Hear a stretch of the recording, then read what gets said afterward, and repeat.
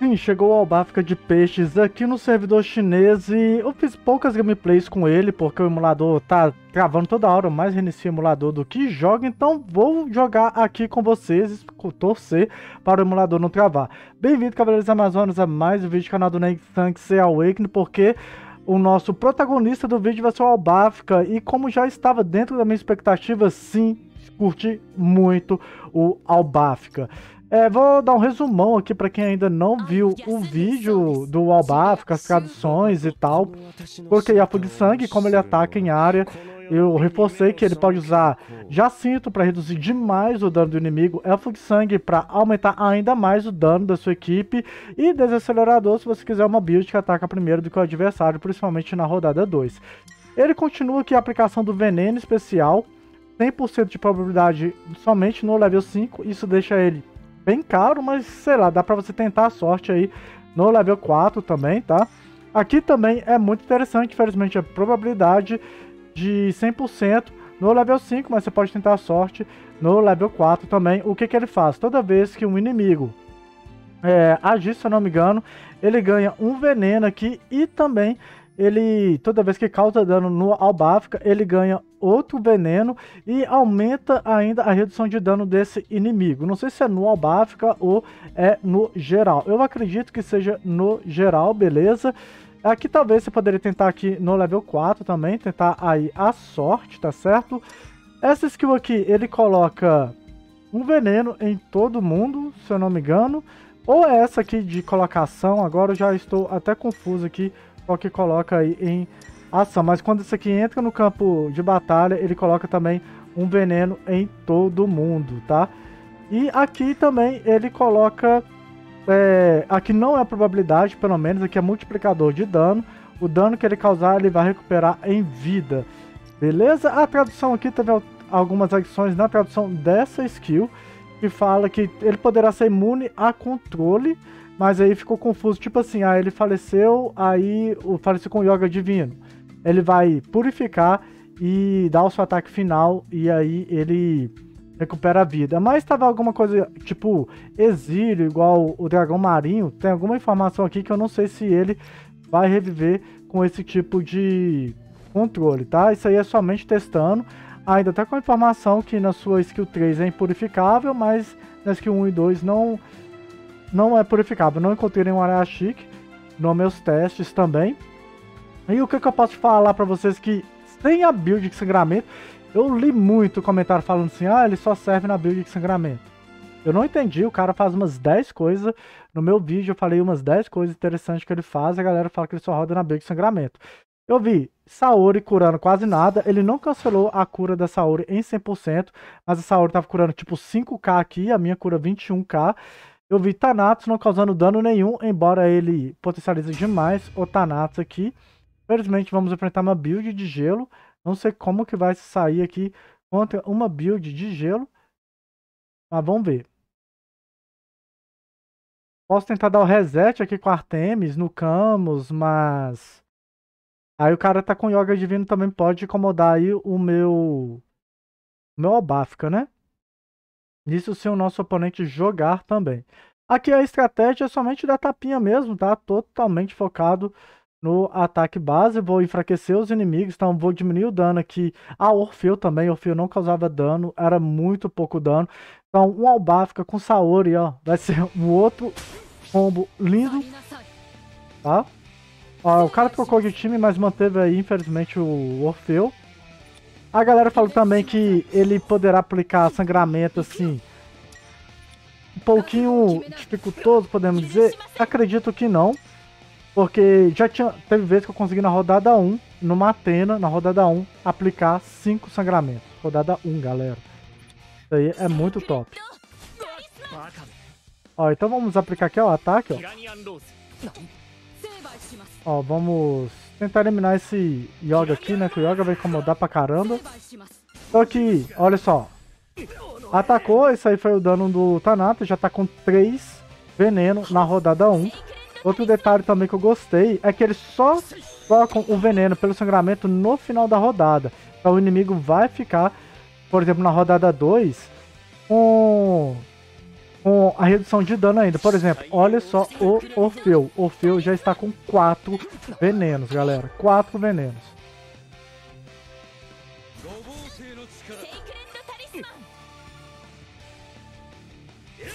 Ver, ele está tentando congelar ali, mas flopou.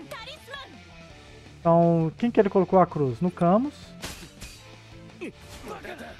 Olha o dano. A galera não causa dano. Vamos esperar aqui. O Sultanato da outra ataque em área, por exemplo, ele já vai ficar com 5 venenos. Aí ele já vai ficar com sangramento na rodada posterior. E o Doku, ó, já iria dar uma mitada aí, né? Ó, então vamos... Eu pensei em resetar, mas não vou resetar não. O Camus. Porque ele tá com... Não, vou resetar o Camus sim.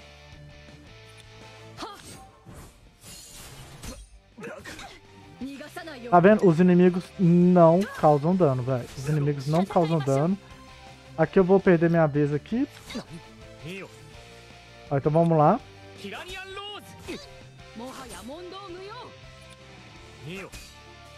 Ó, olha o dano do Thanatos. Pouquíssimo dano do Thanatos, embora o dano aqui já é nerfado, né? Nos duelos sagrados e tal. Olha só, ele mantém ainda o sangramento, como vocês podem ver. Ó, o veneno. E no final da rodada, no início da rodada 3, né? Na virada, aí ele já vai virar sangramento. E, para quem não sabe, sangramento fica aproximadamente metade dos pontos de vida do, do aliado.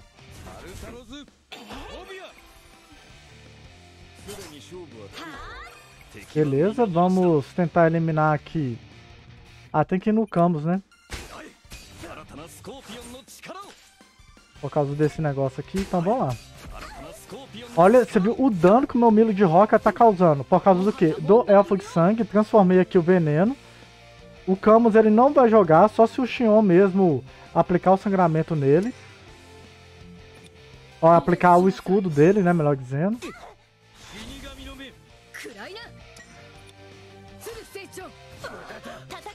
Cara, só sei que, por enquanto, a minha vibe tá muito top. Ó, vamos eliminar aqui o, o Camus. Vamos eliminar aqui... Ó, o Tanato vai dar outro ataque em área agora, né? Infelizmente, agora, né? Acabou aí o... Como é que se diz? acabou o veneno, né? Então eles aumentaram o dano pra caramba. Aqui. Olha o dano que o Orfeu sofreu.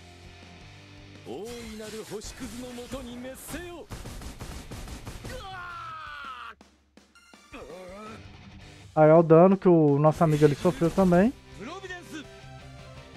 É, infelizmente essa aqui não deu boa. Mas vamos ver aqui o ataque dele aí, ó.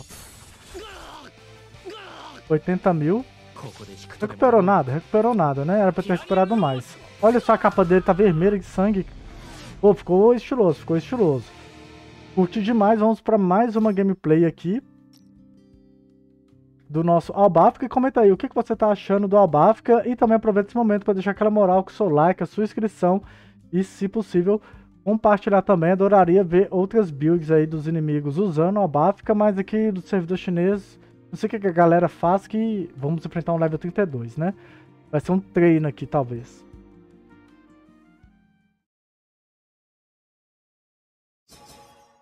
Olha, tá usando albáfico também com tapinha. Top. Tem um churinho ali. Deixa eu ver qual que foi a outra build que eu fiz dele. Foi de Shiryu Divino, que eu acho que vai ser um counter interessante pra ele contra ele, né? Porque ele vai dar ataque em área e o Shiryu vai dar uma arrebentada aí nos contra-ataques. Ó, pensei que tinha gravado aqui.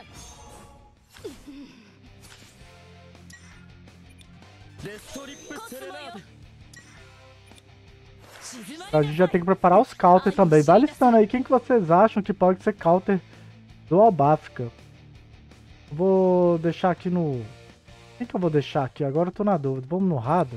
O Orfeu pretende esconder ele, né?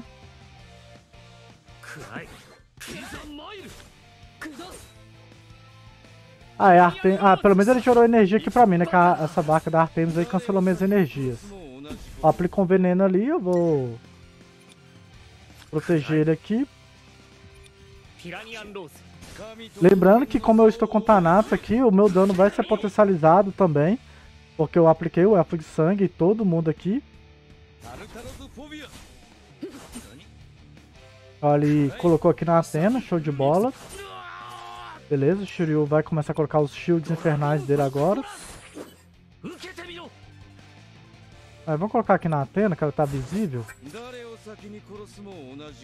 Ah, deixa eu ver aqui quem que vai ser o alvo meu. Eu não sei se é bom colocar no Alone, que eu nem jogo muito de Thanatos, não sei se é uma boa colocar no Alone. Mas quero jogar a... Não, mas o Shura vai tirar, né? A proteção, agora que eu lembrei disso. Ah não, tá na Artemis, eu não sei nem pra que eu pensei também.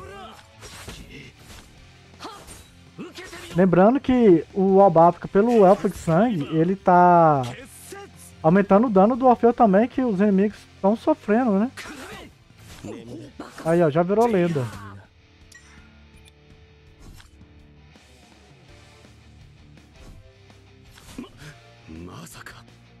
O Alone já ficou possuído, que loucura.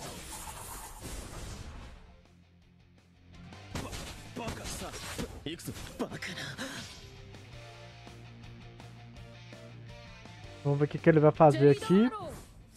É, resetou Shiryu. Aí, ó, consegui tancar. Aí, ó, o Thanatos não causa muito dano não, galera. O Thanatos não causa tanto dano assim, não. Ah, deixa eu... Tentar eliminar essa Artemis. Beleza. Aí ele vai dar ataque dele no Shiryu. Não, foi no Orfeu, velho. O Orfeu tá invisível. Deu kill no Orfeu. Eu não lembro se o Orfeu ele estava de... De como é que fala? Full life, mas eu acho que ele tava full life.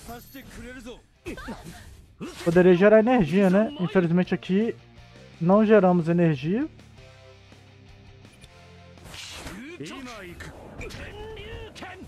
Virou lenda, galera.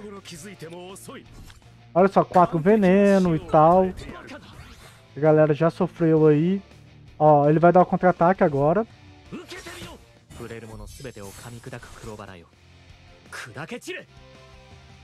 Beleza, agora é só eu tancar, né? O Rada ali tem que tancar. Se eu, tar... eu acho que o Rada vai tancar porque ele ainda tem mais uma vida, né?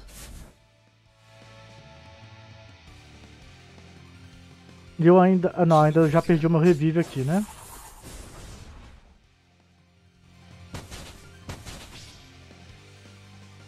O Alone tinha que jogar primeiro? Não, que ridículo esse jogo. Ó, vamos ver se ele vai ganhar uma nova, uma nova ação. Ganhou uma nova ação. Esse jogo tá roubando mesmo. Mas eu acho que aqui vai dar pra ganhar, né? Porque tem a Atena aqui, ele vai... Não tanquei, hein? A gente vai eliminar ali o, no... o moço. Ou não eliminou, cara?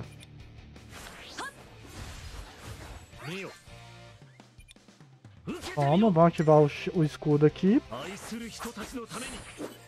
Já ativamos outro escudo ali também.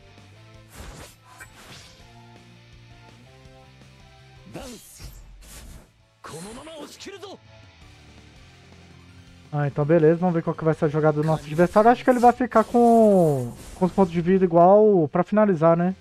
A Atena. É, a Atena finalizou.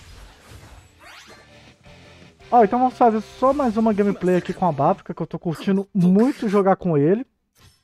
Então, no geral, vamos falar agora um pouquinho mais do Abáfica sobre no meta. Aqui a gente não enfrentou uma Saori, infelizmente, né? Pra... Mas ele reduz a cura, mas ele não reduz 100%, infelizmente. Eles poderão modificar isso em até algum momento? Não sei. Vamos ver aqui, ó. Com a build de sangramento albáfica. Ó, interessante. Eu poderia colocar Jacinta aqui, ó. Se eu colocasse Jacinta ia ser mais cabuloso ainda. Vamos numa build mais safe. Vocês vão ver, talvez, a minha Saori não curando tanto aqui. Então dá uma reparada nisso daqui. Tá bugando, como vocês podem ver, no início da luta.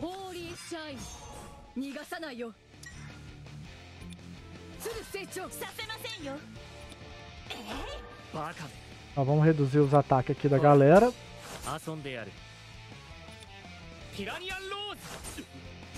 Aí, ó, o Thanatos, ele já vai... Olha o dano que o Thanatos tá causando. E ele já tá com três veneno, como vocês podem ver. Pra cair a merda do emulador trava, né?